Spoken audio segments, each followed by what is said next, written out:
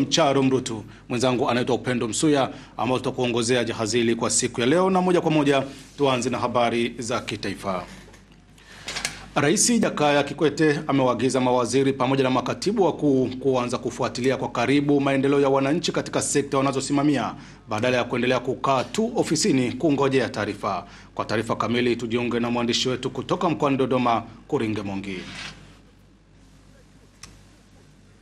Rais Kikwete amelitoa agizo hilo mjini Dodoma wakati alipokuwa akifungua semina elekezi kwa viongozi na watendaji wakuu wa serikali ya Jamhuri ya Muungano wa Tanzania.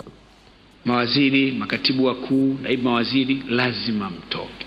Mnayasoma ya wizarani, lakini shughuli zile zinafanyika huko miongoni mwa watu, lazima mtoke. Mtoke mwende kwa watu mkafanye shughuli, mkakague shughuli zenu kule, mkaelekeze mambo, mkafanye kazi kule. Nani hapa katika wizara yake shughuli zake ziko pale ofisini kwake tu? Hata hivyo, Rais Kikwete aliwatahadharisha viongozi hao kuwa ni lazima waende kwa wananchi kwa mipango itakayoleta tija katika utendaji wa serikali, lakini mwende kwa malengo.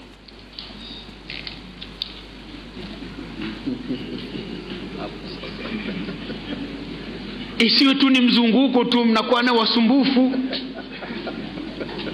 Mtawacha wakuu wa mikoa, wakuu wa wilaya hawana shughuli wanazofanya, ila waziri kaja, bana, tukue kwenye mkoa wako, nipangie tu shughuli.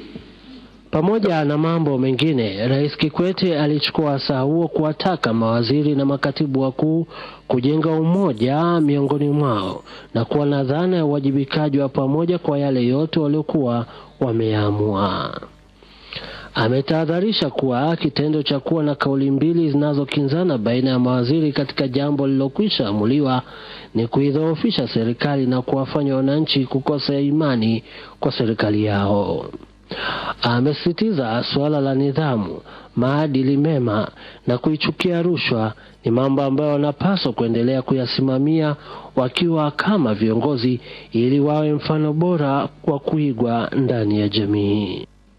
Awali akimkaribisha rais kufungua semina hiyo, katibu mkuu kiongozi Bwana Philemon Luhanjo amesema semina hiyo imeandaliwa kwa mujibu wa mwongozo wa baraza la mawaziri wa mwaka 1990 ukiwa na lengo la kuboresha utendaji bora wa kazi kwa viongozi wapya waliopo serikalini. Kauli mbiu ya semina hii inasomeka hivi: uelewa wa pamoja, ushirikiano, uwajibikaji na uadilifu wa viongozi ni chachu ya maendeleo endelevu. Hivyo matarajio ni kuwa baada ya semina hii viongozi wakuu kwa maana viongozi wa kisiasa na watendaji wakuu wa serikali watakuwa wamepata uelewa pamoja juu ya njia na mikakati bora ya kufikia malengo ya serikali katika kuwaletea wananchi maendeleo wanayotarajia kwa hamu kubwa. Kutoka hapa Dodoma ni Kuringe Mungi.